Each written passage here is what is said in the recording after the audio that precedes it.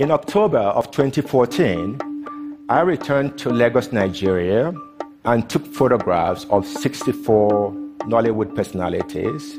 I captured a cross section of the industry as well as the next generation of rising stars. It is almost a taboo in the art world to show Africans in a modern framework, that is to say, as polished, dry cleaned, manicured, and carved. Part of my job is to keep beautifying Africa for the world, one portrait at a time.